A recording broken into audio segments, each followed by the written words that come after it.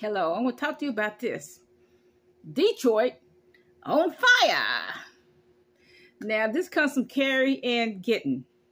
This is a prophecy from Carrie Ann Gitton.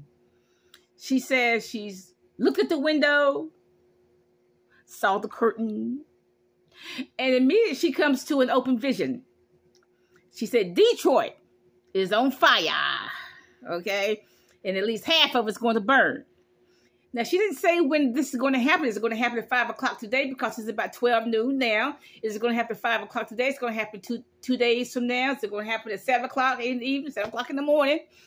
Is it going to happen uh, in August or January the 1st, 2024? She didn't say. So she don't know and I don't know. But she did say Detroit is on fire, y'all. What you expect? Of course it's going to be on fire. You got these concentrated blacks down there. Most of them are poor in concentrated lawlessness. Of course, some fool's gonna take a, a torch, go find a gas line and blow up everybody. Of course, that's gonna happen. What you expect? You got concentrated blacks up there, which is a which is bad, and you got concentrated lawlessness. You got the blacks killing the blacks every day, all day. Uh, the young people doing nothing but going to jail, also known as summer camp. Okay, you got the young people carjacking, thieves, robbery, robbing the old people, robbing the young people, killing children that are just outside playing. That's what you got in Detroit. What you expect to happen? Of course, it's gonna blow up one day. And of course, it's gonna burn, baby. It's gonna burn, burn, baby, burn. Of course, that's what's gonna happen. What you expect? Now, uh, you know, of course it's going to happen. That should be is no surprise. But really, are is the fire department going to co- go into gang territory? Okay, is it? Is the fire department going to go into gang territory? Hmm.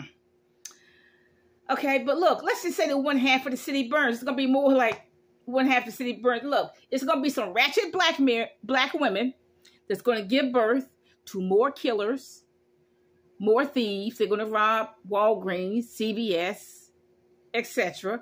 It's going to be more ratchet black women. It's going to give birth to more pimps. They're going to give birth to more carjackers. And this cycle will continue for the next 50 years. Detroit is going to be Detroit for the next 50 years because you got concentrated blacks, concentrated poverty, concentrated lawlessness. What you expect to happen? It's just doomed. It's going to be like this for the next 50 years. Okay?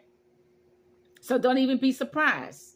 So if you don't want to be caught up into all this, whether it's going to burn or it's good, it's getting worse. Uh, leave. There's 50 states Disperse now. I su- I'm suggesting to all black people, if you want your child to have a chance in life to get out of that city, there are 50 states.